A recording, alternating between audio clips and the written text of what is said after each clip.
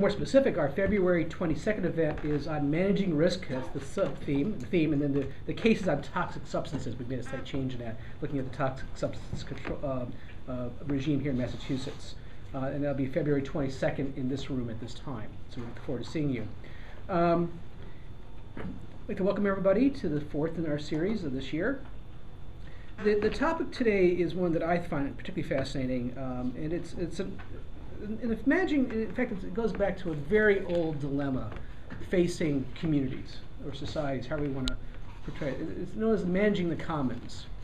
Or it goes back to the notion of the, of the famous, uh, the, the tragedy of the commons. That is, there are certain resources, certain kinds of resources that historically uh, societies have try to manage for to if you think about sustainability. I mean, if we think about for those of you who don't know, the term Boston Common is actually was originally going back to its origins as a common grazing pasture.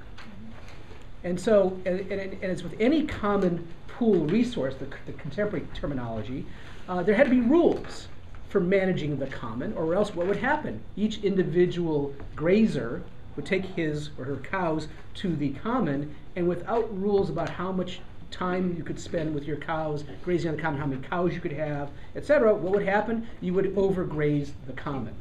You would destroy the resource. And so, indeed, societies have long sought structures and rules and norms for managing various commons, whether it's classic pasture land or timberland or natural resources in terms of mineral resources or other kinds of commons. Now, traditionally, um, we have oftentimes managed them by privatizing access, dividing up pasture land into and enclosing them into privately owned pastures, selling them off, leasing them. Um, or we have done licensing of some kind, or some kind of way of managing common resources in such a way as to both uh, utilize them in some rational way for the moment, but also sustain them for future generations. Fisheries are particularly troublesome. Fish don't stay still hence the most difficult problem in some respect of, of managing commons you can imagine. Fish are mobile. Um, and so, in fact, imposing traditional rules on fisheries gets very difficult very fast because, for example, uh, you know, what are the rules for entry? Can you just restrict them to, to your people?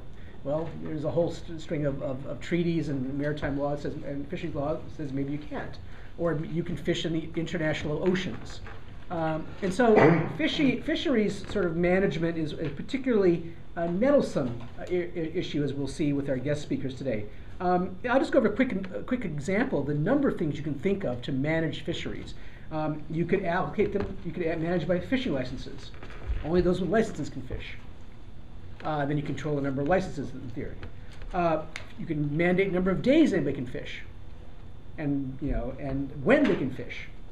You can mandate quotas, types of you know types of fish you can catch, how many pounds of that fish you can catch, etc. You can technology mandates. You can mandate certain kinds of of, of, of nets, sizes, types. Um, you know, you know, you can mandate boat sizes and how many boats. You can do all kinds of things. And yet, as we're going to find today, um, there's no easy answer to managing fisheries. And we have a, a, an example of how and how uh, controversial uh, fisheries management issues get when you're in a place like Massachusetts, where fishing is still a very big business. Uh, if anybody's been to New Bedford or Gloucester, one understands very clearly how important fisheries are to the lifeblood of whole communities, uh, historically and in contemporary terms. Um, and in, a couple weeks ago, the federal government denied a uh, request by the state government here in Massachusetts to, um, uh, to have an emergency increase in the catch limits for ground fishing vessels in the Northeast. And the, the federal government, basically, in the guise of Commerce Secretary Gary Locke, uh, would not raise the limits because the state failed to provide new scientific or economic data to justify the move. This is according to the Boston Globe. Um, and the data do not are not sufficient to allow an increase in the fishing um, uh, limits that were imposed by the federal government uh, for Massachusetts and the New England uh, fishery uh, fishing uh, fleets in particular. Um, this was met, of course, as you would imagine, by very strong response by state uh, uh, and local political leaders, the governor's office, Mayor Lang in New Bedford, and uh, Congressman, of course, Barney Frank, uh, who, uh, if you don't know, represents New Bedford and Fall River, area down there, as, as well as, uh, as Brookline, his district being a classic example of, of a very interesting looking district. Um, but he represents an area with a strong fishing interest, and, and Congressman Frank responded in another Boston Globe uh, quote. Um, it says that you know he was very upset about the decision by the, Obama administration, and he said uh, called the decision an assault on the industry and blasted the administration's wholly negative tone. He said, if it persists, quote, it will make me difficult to keep cooperating with Obama. So fishing is not a small matter for Congressman Frank because, again, he has constituents whose livelihoods depend on fishing, and he has entire parts of his district that relies on fishing. And the Boston Globe that same day, January 13th, um, opined, well, not so fast. Um, you know, uh, it's no need to, to, to lift the catch limit, says the Boston Globe, and and, and it, they didn't. They, they agree with the federal government's decision. Uh, there was no need yet to do so. And besides, said the Globe, the fishermen who are struggling are the ones whose quotas based on their catches in past years are meager.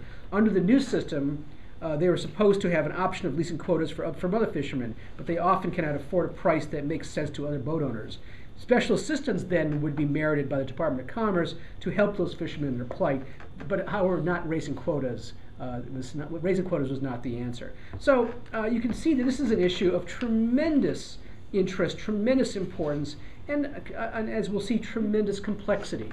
And we have two guests who I think are, are, are very well equipped to speak to these issues, both as they're rooted in Massachusetts, but also more broadly.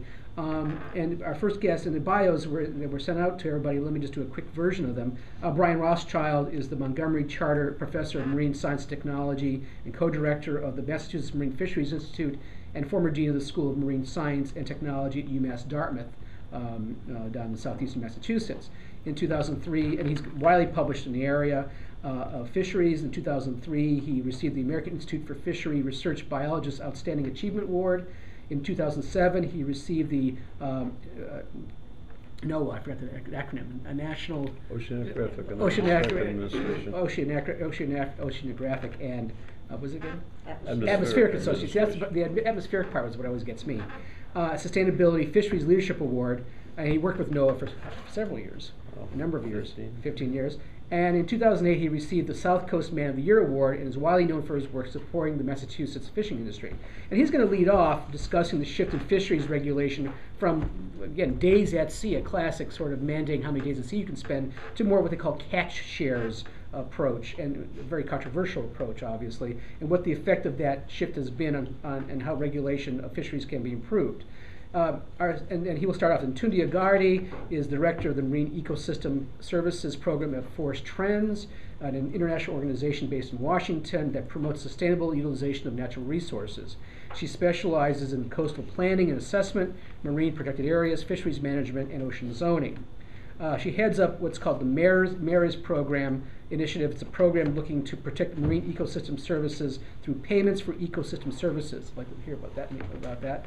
Um, and previously, she's founder of an organization called Sound Seas, a group working uh, at the nexus of policy and science to promote marine conservation. And it was seen before that senior scientist for the World Wildlife Fund, and before that at Conservation International. So she has a long history of, of activity in, in important international organizations, uh, looking at fisheries from a global perspective.